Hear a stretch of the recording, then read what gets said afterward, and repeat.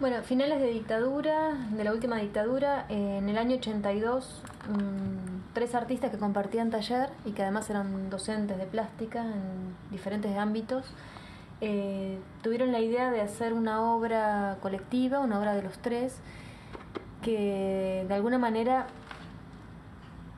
representara a los desaparecidos, pero desde el lugar de la cantidad, de la cantidad de cuerpos ausentados ¿no? por, la, por la violencia política por la represión del Estado. Y mm, la idea de ellos era entonces eh, representar a escala natural eh, 30.000 siluetas vacías como forma entonces de esto que decía, de, volver presente una ausencia. Em, la idea inicial era montar esta obra que no tenía un formato muy definido, iba a ser un laberinto de papel o iba a ser este, empapelar la parte de afuera de un, de un museo, en una convocatoria, un premio privado, el premio ESO, o sea que inicialmente era una convocatoria pensada para el campo artístico, ¿no?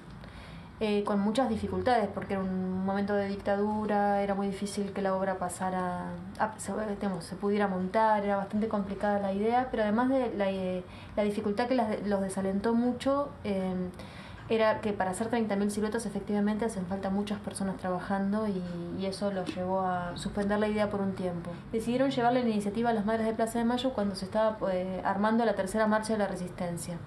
La marcha de la Resistencia es una marcha que dura toda la noche. Eh, en este caso se hacía por el Día del Estudiante, el 21 de septiembre. Durante toda la noche se, se pernoctaba en Plaza de Mayo y el día siguiente se marchaba. Es una marcha que dura más de 24 horas. Unos días antes entonces los artistas le llevaron la iniciativa a las madres con un proyecto, una, un proyecto escrito. Las madres lo intervinieron fuertemente, por ejemplo, pusieron la condición de que ninguna silueta tuviera ningún tipo de, de marca, que, la, que, que la nombrara, que la identificara, justamente porque las listas de desaparecidos eran muy incompletas. Entonces decidieron que mm, todas las siluetas iban a ser iguales y que ninguna silueta, y esto fue la, el énfasis mayor de las madres, ninguna silueta podía estar acostada, que todas las siluetas inmediatamente después de ser hechas tenían que estar de pie, erguidas, porque la reivindicación en ese momento más fuerte que aglutinaba el discurso de las madres era la consigna de aparición con vida. Estamos a fines de la dictadura, en un momento en que todavía había mucha expectativa de que los desaparecidos estuviesen eh, vivos en algún lado, recluidos, y que pudiesen aparecer todavía, eh, se pudiesen recuperar vivos. Entonces eh, la consigna aparición con vida de alguna manera se materializa, se vuelve visual en esta, en esta idea de las siluetas. En principio eh, la idea era esta, que un manifestante pusiera su cuerpo, se recostara en el piso, prestara su silueta para representar a un desaparecido y otro manifestante que colaborase en la, ejecución de la acción lo rodease con pintura o con un marcador como forma de dejar señalada la silueta. Pero hubo otros procedimientos, otras formas de hacerla a, a, mano alzada, como en este caso, o con plantillas hechas previamente en cartón aglomerado como forma de hacer este, siluetas en forma serial mucho más rápida. ¿no? Y estas son fotos ya de, de la primer, de la, del primer siluetazo en septiembre del 83. Eh, empapelando los muros de la parte central de la ciudad, de la, del, del, del, punto nodal del, de la trama de poder urbano en la ciudad, que son las inmediaciones de la Plaza de Mayo, la catedral, el, la casa de gobierno, la casa rosada, ¿no? el cabildo, todos los edificios que eh, sintetizan la trama de poder eh, de, nacional. ¿no? Acá vemos una vista de la, la, llegada a Plaza de Mayo, también empapelada por desaparecidos. Los diarios informaban al día siguiente esto de las siluetas nos miran. Y lo que vemos es esto, ¿no? Esta, esta idea de que los, los policías custodiando las siluetas, ¿no? El, el, el, operativo represivo fue muy fuerte y en algún momento hubo amenazas muy concretas de que los que estaban pegando siluetas iban a ser detenidos si no dejaban de hacerlo. Y lo que se empezó a dar en diciembre, que es muy interesante, es que ya no hubo un, una centralización de, de, la producción de siluetas, sino que el dispositivo o el, el procedimiento se socializó de una manera muy, muy inmediata y muy espontánea y empezaron a surgir siluetazos espontáneos en muchas ciudades del interior, en barrios de la ciudad de Buenos Aires.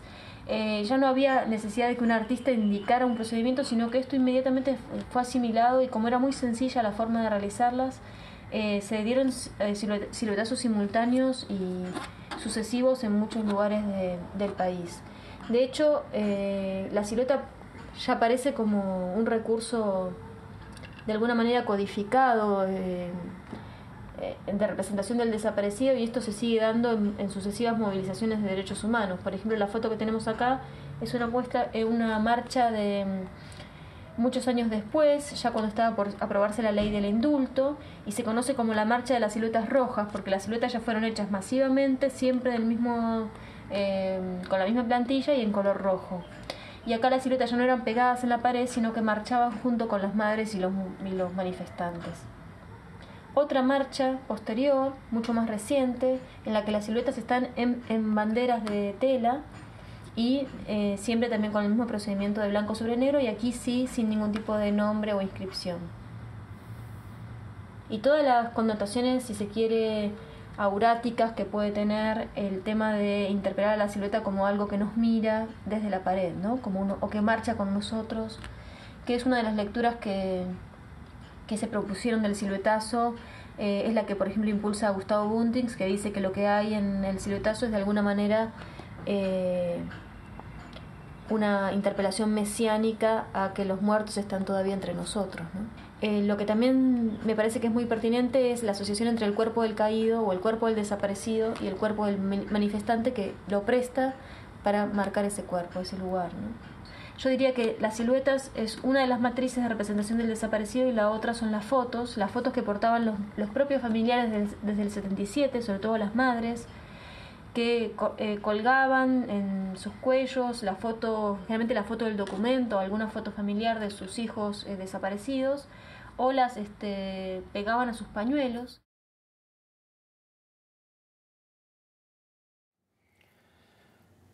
De los tres rollos que saqué, en la primera silueteada, en la de septiembre del 83, eh, una cantidad de fotos que resultaron mal reveladas en el negativo y esta niñita está llevando la plantilla de hacer siluetas de niños. Y aquí se ve la plantilla de la embarazada, plantilla que salió a la calle gracias a la insistencia, al reclamo de las abuelas y de y de familiares. Esas siluetas están completamente fuera de todo esquema. Y ahí arriba la sugerencia de un bebé. Sí, en la catedral hubo pegatina persistente y hubo despegatina por parte de los curas persistentes. Querían a toda costa mantener el frente limpio y a toda costa insistíamos para que el frente no lo tuvieran limpio. Y se llevaron siluetas toda la noche y al día siguiente. Iban y las hacían sacar y después pusieron cuatro policías para proteger los muros esta siluetita yo la amo particularmente porque terminó siendo la primera plantilla que se hizo de silueta de niño desaparecido y resultó ser la, la siluetita de, de mi hija. Es extraño porque originalmente la idea que habíais pactado con las madres era que las siluetas no tuvieran datos personales, ¿verdad? Correcto. ¿Y tú recuerdas cómo vino a ser el momento en que empezó la gente a incorporar datos de sus desaparecidos en las siluetas? Sí, lo recuerdo con absoluta claridad. Fue durante la noche. Este es el clima. Mientras el taller ya estaba en pleno desborde, desborde de nosotros, digo, la gente producía siluetas, nosotros ya no hacíamos nada. En medio de ese eh, raro caos ordenado, donde el taller producía sistemáticamente y, con, con, un orden perfectamente seriado y con una distribución de tareas que se fue armando, alguien pidió ponerle el nombre a una silueta o se lo puso y a los segundos hubo otra y unos segundos después hubo otra. De hecho, inmediatamente después de esas primeras que aparecieron así como tímidamente, las mismas que habían dicho no queremos identificación personal en las siluetas porque entonces cada silueta es todos los desaparecidos. En ese momento dijeron, no, bueno, está bien, si va a haber nombres, que estén todos. Ahí tenés a alguien con lápiz y un papel donde, esta no es una lista de las madres, donde seguramente está anotando nombres que ya se pusieron en las siluetas, probablemente para evitar que se repitieran. Entonces, la, silueta era mera silueta de lejos, pero de cerca se transforma en una persona con nombre, apellido y fecha de desaparición. Bueno, acá se ve cómo funcionaban a la distancia. Esas siluetas eran anónimas hasta que uno se acercara. Y entonces aparecía el nombre. Armando José Bautista, 29 años. Desapareció el primero de junio del 76. La gente se tiraba al piso y alguien con un marcador les levantaba la silueta. Y después en el otro lugar del taller al ladito alguien reforzaba con rodillo pincel los bordes para que tuviera más potencia gráfica. Una vez secas se las enrolla, se las guarda hasta que llegue la hora de salir a pegar. Para cuando llegamos a la, a la, plaza, de nuestra propia tarea y de la participación que habían tenido para entonces las madres, el procedimiento estaba íntimamente asociado a lo que se llamaría en cualquier ámbito la productividad, esto es más rápido y más barato. La organización del espacio en la plaza para, para digamos, estructurar la producción en serie, es decir, mm la llegada del papel, el corte del papel, su colocación en el suelo, el reparto a los grupos que primero siluetaban en el suelo, luego volver a remarcar la silueta por el efecto visual, los grupos de pegadas. ¿Cómo, cómo se organizó eso? ¿Fue autoorganizado? ¿Hicisteis una primera organización vosotros?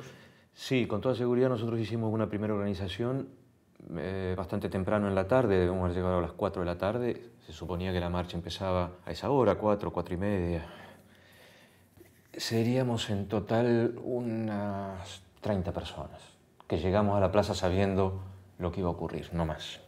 Y eh, estando la, marcha en el estilo de las rondas que las madres hacían alrededor de la pirámide del centro de la plaza, eh, nosotros nos ubicamos en un costado cerca de la catedral, pero dentro de la plaza misma. Y recuerdo que con las bobinas de papel que llevábamos, papel virgen aún, demarcamos una especie, no sé si decirlo, una especie de cerco, una especie así de puntos, como para decir acá adentro vamos a trabajar. Sí, esa, esa sensación del trabajo en, en, un orden seriado, casi de, de, de línea de producción, se estableció allá con bastante desorden. Y la segunda silueteada, curiosamente, fue muchísimo más ordenada esta no la organizamos nosotros. Esto es en el obelisco, Plaza de la República. Estos chicos del Frente por Derechos Humanos, FPDH, organizan esta silueteada con el objeto de mostrarle al presidente Alfonsín, ya elegido, pero que tomaba el juramento ese día, 10 de diciembre, tenía las oficinas en un hotel justo enfrente, creo que es el Panamericano. Y estos chicos organizaron la silueteada, la segunda silueteada la organizaron aquí, justamente para que el presidente desde sus oficinas en el hotel lo viera. El mensaje era muy claro. El día que asumís, esto es, esto es lo que asumís también. Se está trabajando para el corte de papel. Trabajo con plantilla y allí probablemente ya se están poniendo eh, nombres o reforzando bordes. Rodillo, pincel, pincel. Y hay también algunos textos escritos o pancartas a punto de ser atadas allá entre los postes. Exigimos aparición con vida.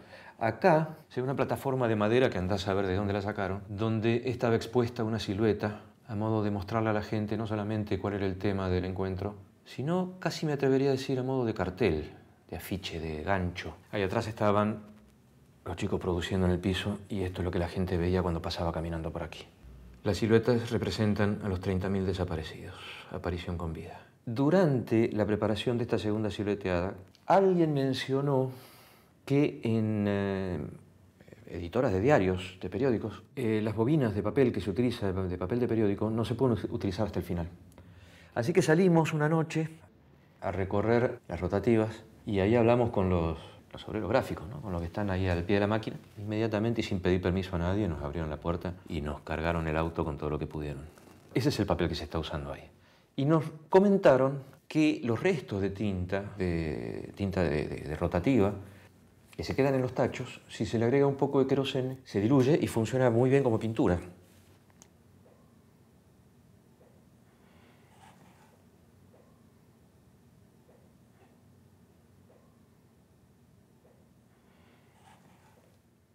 Es lo que a mí me gusta llamar de vez en cuando, para salvar el estereotipo, eh, un pueblo en lucha. Y bueno, son los que hicieron de la silueta lo que son.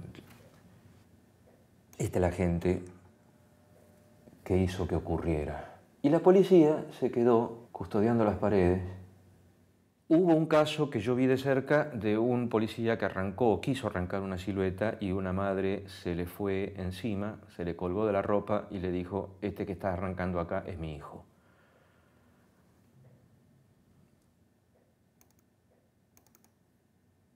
Y probablemente también yo con algún temor y sin apuntar y sin hacer foco, mandé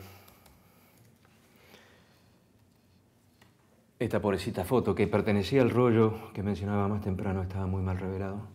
Muestra este cobarde que arrancó la imagen de un desaparecido y se la lleva, obediencia de vida, simplemente porque le han dicho que lo haga.